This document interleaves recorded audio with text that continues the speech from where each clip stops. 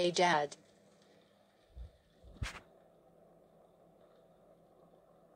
How's my princess? Like always, I am perfectly fine.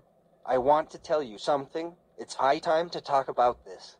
Not again, Dad. I don't want to get married now. You know it very well. It's only because I am not your best friend like your mother. That's why you don't want to share things with me. There is nothing like that, Dad. I don't want to marry a man whom I even don't know just like you, and Mom, I want to marry someone I love.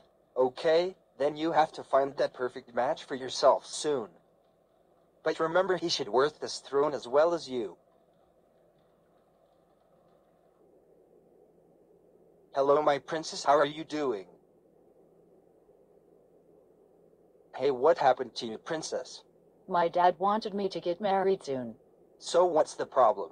You should listen to your dad. Are you kidding? You really don't know what the problem is?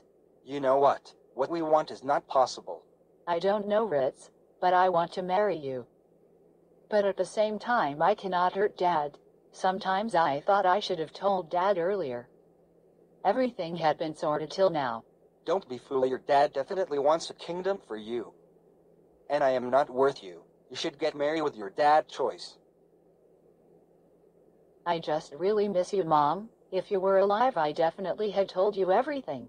I think I should do what Dad wanted after all. It's my responsibility to take care of Dad. So did you found your true love? Not really, Dad. I just wanted to tell you that I am ready to marry with your choice, Dad. Oh my sweet princess. Why she is not happy am I forcing her? Why you went so soon a mother can understand things better. Hello princess. Your dad chooses me from so many princes but I wanted to meet you and ask you, will you marry me with full heart? Though you asked me, I want to tell you, I am getting married for my dad's happiness. I will take my time to say yes. Sure princess. So what's your decision dear? You like him? Yes, Dad. I am ready. Are you sure dear? Why are you so sad? Missing Mom a lot, nothing else. Dad, I wanted to tell you something. I am in love with a common man. He is not like us, but he can give me all the happiness I wanted. I was afraid to tell you, but I can't lie anymore. But still, I am ready to that prince I met last day.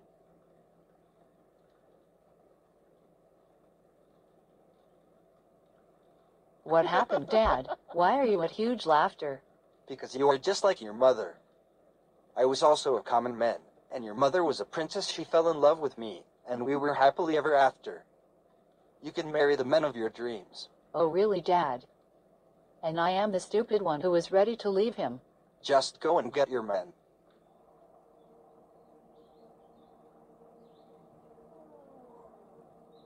I am sorry, and I love you. I love you too.